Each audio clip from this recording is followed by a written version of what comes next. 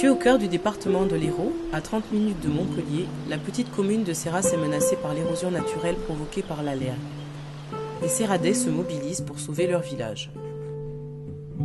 C'est pas facile de quitter, d'être exproprié quand euh, cette maison représente pour vous le plus important de votre vie, les enfants sont. Hein, ça, c'est pas envisageable, quoi.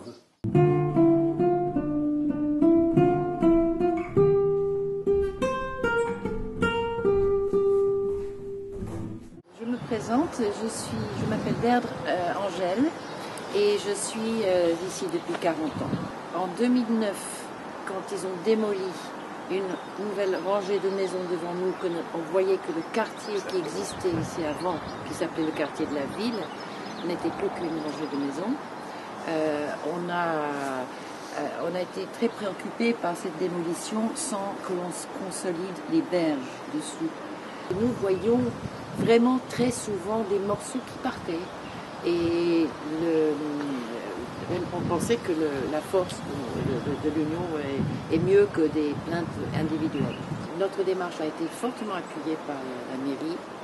euh, parce que, euh, avec les lenteurs administratives nécessaires, euh, l'hierarchisation des démarches et tout ça, ils pensaient que c'était très important de savoir qu'il y avait un mouvement d'opinion.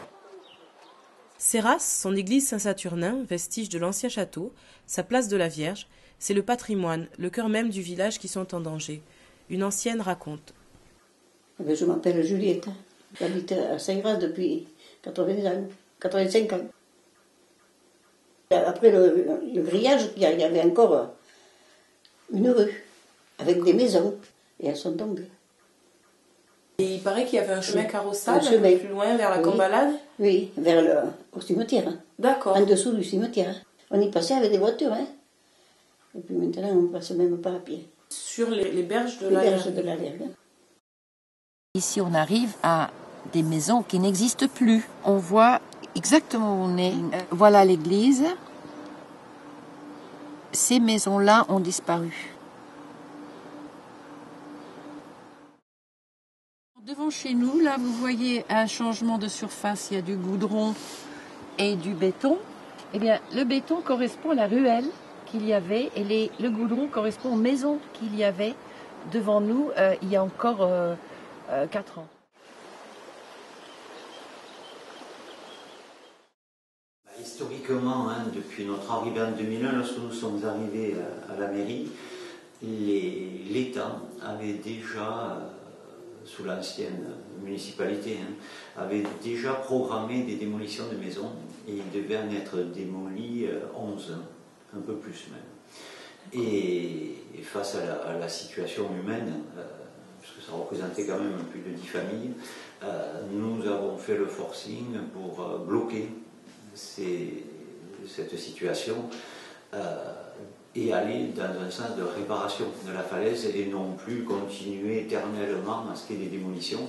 Et aujourd'hui, depuis maintenant presque un an, euh, nous avons, grâce à des études et au service de l'État euh, qui a financé à 50% ces études-là, euh, nous avons pu trouver la solution technique.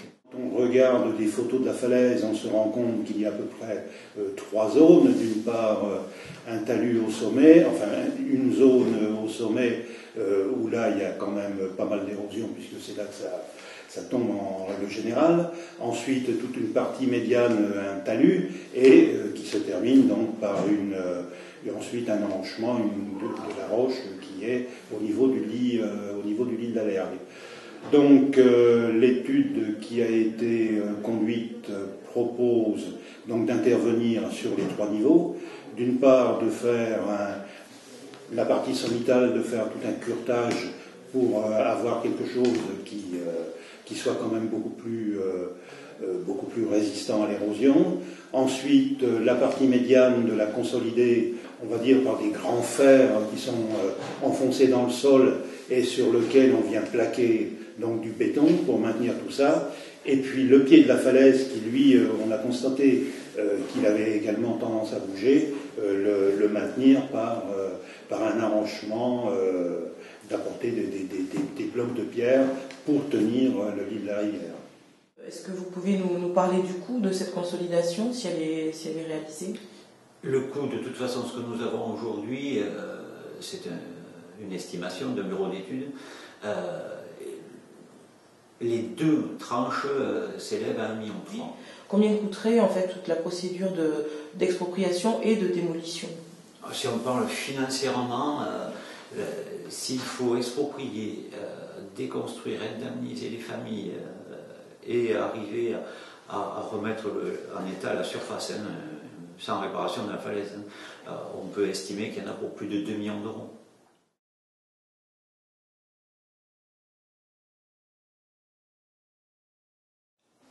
Trois semaines, euh, un morceau de. La, falaise s'effondre régulièrement, hein. c'est récurrent, c'est pas dramatique, c'est que des petits morceaux qui tombent, mais enfin, le terrain est gagné. Hein. Et dernièrement, nous avons eu un effondrement euh, sur un morceau de la falaise qui est très très proche de notre réseau de Toutalegou, c'est-à-dire l'endroit en plus de Toutalegou qui collecte tous les villages. Euh, et les tuyaux étaient à nu, hein, étaient à, ciel ouvert. Donc euh, nous avons eu très peur, parce que si les canalisations étaient tombées, étaient parties, le Toutalegou se vidait dans les roues, dans la lergue, dans les roues, et on allait créer une pollution euh, vraiment, vraiment dramatique. Le conseil régional ne veut pas participer, ne peut pas participer et ne participera donc pas. Donc il nous manque à ce jour 200 000 euros. Oui, parce que ce qu'il faut bien comprendre, c'est aussi euh, euh, que le facteur temps joue contre, euh, contre nous, contre en tout cas. Si nous n'avons aucune intervention dans les mois à venir, je pense que nous allons avoir sous les maisons, enfin devant les maisons et pas à côté, devant les maisons des effondrements. Et, là, ce que je crains le plus, c'est que soit moi-même, soit le préfet, c'est-à-dire l'autorité de l'État, euh, nous soyons l'un ou l'autre ou les deux en même temps obligés de mettre en sécurité cette zone. Et mettre en sécurité cette zone, ça veut dire euh, rendre irréversible euh, toute réflexion de confortation.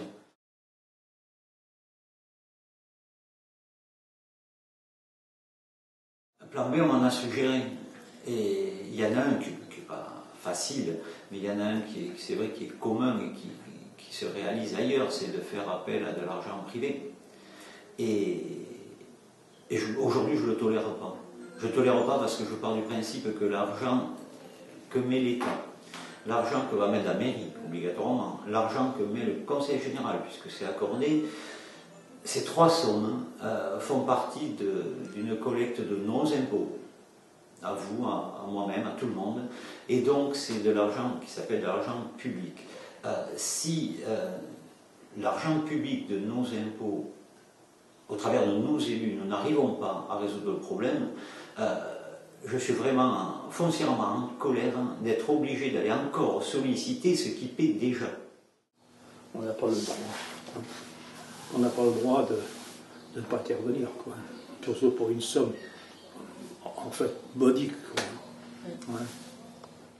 Je m'appelle Charles Valençon, dit Charlie pour, euh, pour les gens du village, même pour les enfants. Hein. Je suis leur réparateur officiel de leur vélo. je suis marié, en 1945, je me suis marié 12. Le 2, le 2 décembre 1945, j'ai épousé madame, madame Valençon à Serras. Et depuis, depuis, on y a, on y, a toujours résidé, enfin pas toujours résidé, mais enfin, on est chez, des vacances, on venait, dès qu'on avait des moments de liberté, on venait ici. J'ai reconstruit cette maison, là tu vois, j'ai fait ce bâtiment, j'ai réuni deux bâtiments ensemble pour faire cette maison, qui menace d'être détruite. Quoi, hein. On avait déjà été menacé d'expropriation en 2000 en 2000, on avait des menacés, il fallait que ça passe au journal officiel, et on devait que tout soit réglé en 2005. Et puis, il y a des gens qui sont, dont, dont je faisais partie, qui ont protesté, quoi, qui sont insurgés contre cette décision de, de les gens à, la rue comme ça, sans, hein, sans tenir compte de leur âge, de leur, de leur situation.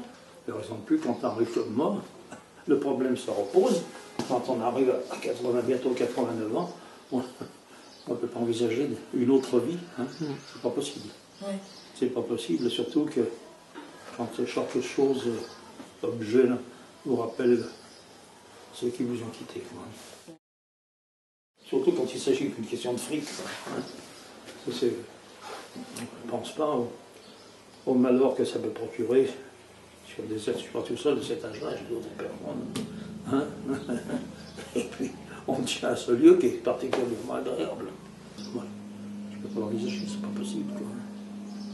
Je ne peux pas l'envisager, je partirai avec la maison. Si je la détruis, je pars avec.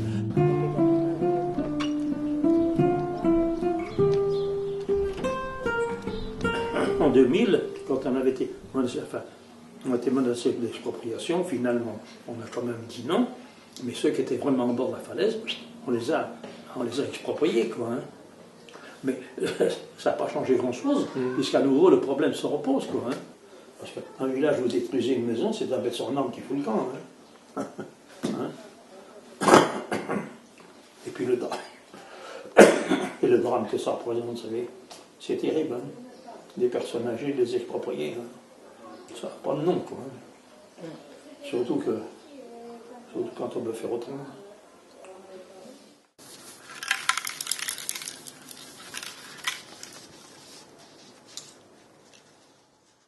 Ce matin, on a distribué euh, ces petites cartes postales en fait. Euh, donc le principe, c'est juste de coller un timbre derrière et de la poster. Donc euh, libre à chacun de, donc, de, la, de la poster ou non. Voilà, c'est super accrocheur et puis en même temps, euh, c'est, on n'oblige personne à, à coller le timbre et à la poster. Et puis comme ça, après le président de la région, il reçoit ça à son bureau et puis euh, il se dit, bah mince, il y en a plein qui, qui nous envoient ces cartes. Alors peut-être qu'il avoir un petit peu d'argent. Le village menace de s'effondrer. Nous sommes toujours dans l'espoir d'une aide de votre part, car si des familles sont en danger, nous comptons vraiment sur vous, les habitants de Seyras. Il y a beaucoup de personnes âgées qui sont concernées, mais aussi euh, les jeunes. Et donc euh, voilà, il faut soutenir, euh, parce que nous aussi, c'est notre village. Il y a... Bah, c'est d'abord en fait euh, les euh, générations euh, donc, euh, les plus anciennes qui euh, lancent le mouvement parce qu'ils sont menacés directement. Mais euh, si on veut euh, donc euh, rester euh, dans le village et puis euh, donc euh, toujours donc euh, jouir donc de, de tout ce qu'il y a ici, il faut euh, il faut soutenir l'action et euh, voilà pour euh, pour avoir des esprits apaisés, se faire attendre.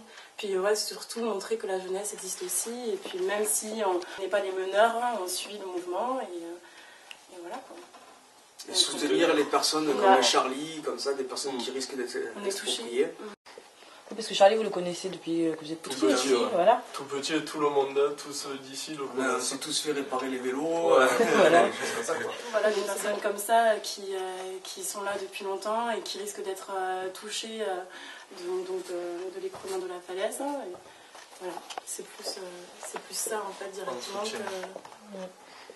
Et puis on ne peut pas laisser euh, des familles euh, qui sont là depuis euh, tant de temps euh, sans rien euh, alors qu'elles ont déjà fondé euh, toute leur vie ici. C'est un petit peu. euh, c'est pas, c'est pas logique, c'est égoïste.